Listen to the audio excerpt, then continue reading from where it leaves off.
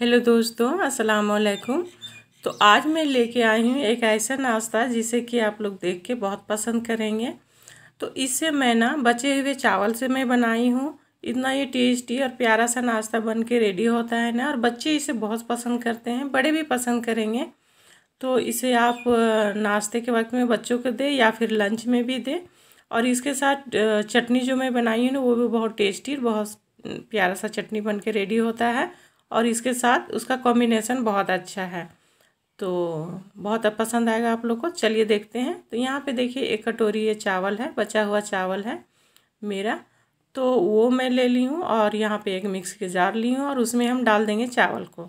एक कटोरी चावल है और आधा कटोरी मैं ली हूँ दही। अब हम क्या करेंगे? दोनों को पीस लेंगे। तो यहाँ पे मैं लहसुन डाली हूँ, दो तीन कली और तीन हरी मिर्च और नमक। टेस्ट के अकॉर्डिंग और थोड़ा सा धनिया पत्ता। अब डाल के इसे हम पीस के रेडी कर लेंगे। तो यहाँ पे देखिए, इसका फाइन सा पेस्ट बनाएँगे हम और यहाँ पे पीस के रेडी कर लिए और जार में थोड़ा सा पानी डाल के उसे भी हम धो के ले लेते हैं, क्योंकि कोई चीज़ वेस्ट नहीं करना है। और इसमें मैं आधा कप डाल रही हूँ सूजी। तो अब हम क्या करेंगे, सभी को मिक्स करेंगे और इसमें थोड़ा सा और मैं पानी डाली हूँ। देख सकते हैं, इस तरह का हमें वेटर चाहिए। तो बस ये ठीक है। अब इसे ढक के मैं साइड में रखती हूँ और बना लेती हूँ चटनी। तब तक सूजी भी फूल जाएगा हमारा। तो यहाँ पे मैं आधा कप ली हूँ मूंगफली। अब उसे जार में डाल देंगे और इसमें मैं डालूँगी सत्तू। इसके जगह पे अब भुना हुआ चना भी ले सकते हैं जिसका छिलका निकला हुआ रहता है वो। तो उसके जगह पे मैं सत्तू ली हूँ। तो ये लगभग दो चम्मच मैं डाली हूँ इसमें और थोड़ा सा मैं डाली हूँ लहसुन और हरी मिर्च और ये धनिया पत्ता। एक मुट्ठी में धनिया पत्ता डाली हूँ और एक चौथाई कप मैं डाली हूँ इसमें दही। अब हम क्या करेंगे? सभी को पीस के रेडी कर लेंगे। तो यहाँ पे देखिए, ये चटनी हमारा पीस के रेडी हो गया है। अब इसे मैं एक बॉल में निकाल लूँगी और इसमें मैं लगाऊँगी तड़का, क्योंकि तड़का लगाना बहुत ज़रूरी है। और ये थोड़ा सा गाढ़ा है, इसे मैं पानी डाल के और थोड़ा सा पतला कर लेती हूँ, क्योंकि ज़्यादा गाढ़ा भी नहीं अच्छा लगता है। तो देख सकते हैं। और इसमें मैं अभी नमक नहीं डाली हूँ, नमक मैं बाद में डालूँगी। तो देखिए, ये परफेक्ट हो गया। अब इसमें मैं तड़का लगाऊँगी। तो यहाँ पे देखिए, हींग ली हूँ जिससे कि थोड़ा सा लेंगे हम, एक चौथाई चम्मच के लगभग।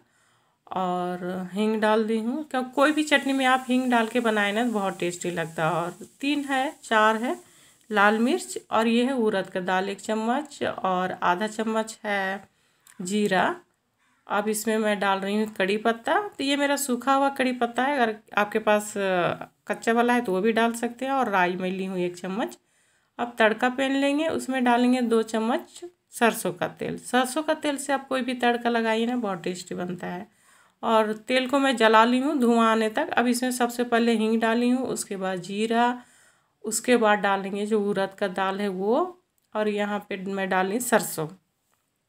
देखिए, सरसों डालने के बाद उड़द का दाल डाली हूँ, उसके बाद लाल मिर्च और जो कड़ी पत्ता था उसे डाल के पका ली। अब हम इसमें तड़का डालेंगे। थोड़ा सा बचा के रखेंगे, जिससे कि मैं आगे इसका उपयोग करेंगे। तो ध्यान से देखिएगा। तो देखिए, ये हमारा तड़का तैयार हो गया। इसमें नमक में डाल, नहीं डाली थी तो डाल के इसे मिक्स कर लेती हूँ। तो चटनी हमारा तैयार हो गया। अब इसे मैं साइड में रखती हूँ और देखती हूँ कि हमारा जो मिश्रण था, जो वेटर, वो कैसा हुआ? है उसमें सूजी फूल गया है या नहीं? तो देखिए, चटनी तैयार हो गया है। अब यहाँ पे गैस पे मैं रखी हूँ कढ़ाई। इसमें मैं पानी डाली हूँ दो गिलास और इसमें एक तो स्टैंड डालेंगे और इसमें ढक्कन लगा के पानी में उबाल आने तक इसे साइड पे रखेंगे मतलब चूल्हे पे रखेंगे गैस पे। और जो तड़का बचा हुआ था ना, वो डाल दिए हैं हम इसमें। अब इसे डाल के और मिक्स कर लेंगे।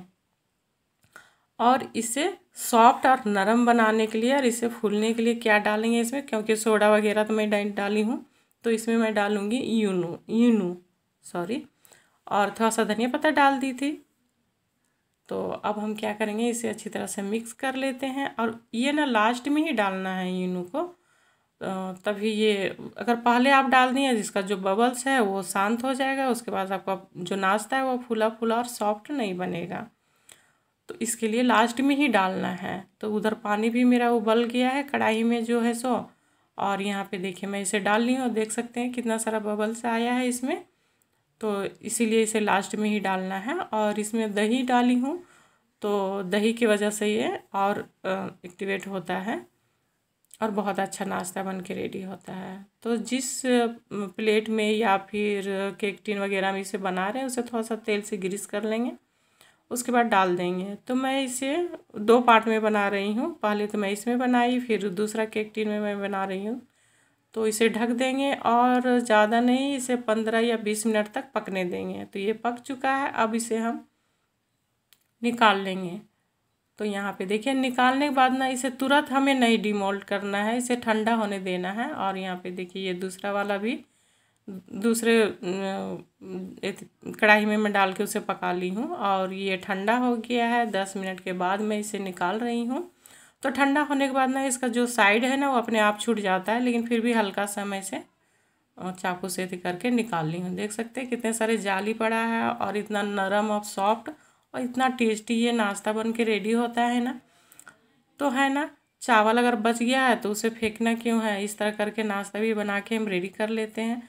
और थोड़ा सा इसे डेकोरेट कर लेती हूँ मैं धनिया पत्ता से और थोड़ा सा मैं तड़कल भी लगा दी ऊपर से।